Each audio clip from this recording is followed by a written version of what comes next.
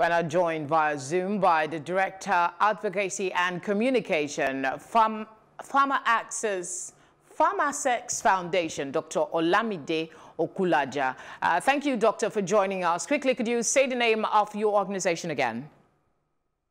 Uh, good morning. My name is Dr. Olamide Okulaja uh, from the PharmAccess Foundation. Okay, I, I, almost muttered that. So we keep hearing about medical insurance on, you know, um, in the health sector. Why must it be now becoming a central discussion? So medical insurance basically is the ability for a group of people to pull together uh, funds um, to be able to prepay for services that they would access in future. And if you look at the domestic resource mobilization for healthcare, apart from being able to provide funding through governments, one of the major ways that the international community has agreed is through insurance. And that is a way of pulling resources from the private sector and also the public sector to be able to pay for services going forward.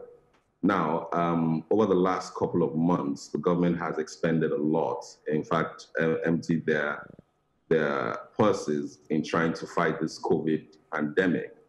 And it is now time to see how we can raise funding through insurance uh, so that people do not go into catastrophic uh, events when accessing uh, healthcare. Uh, because you know the financial implications of healthcare is very huge, and um, it's also very expensive when it is paid for at the point of service. But with insurance, if there's some prepayment mechanism, then it reduces that financial catastrophe. Uh, you are known for your advocacy towards a business-like approach towards healthcare provision. How will that subsequently lead to a more accessible and affordable healthcare service for our growing population? I mean, in, in the past, when the government was very buoyant, you know, healthcare was sort of regarded as a free commodity. And of course, in several countries and across the world, um, the provision of quality healthcare service has been attributed to government. However, as the economy has tightened and as resources are dwindling and you know the resources are finite, it is important to start looking at healthcare from a, a, a business angle rather than a social service, because then you get what you receive. Uh, you know, if something is social and if it's free, you you are subject to whatever it is that is given to you. But when something, if you pay for a service, then you have the ability and the right to demand for quality.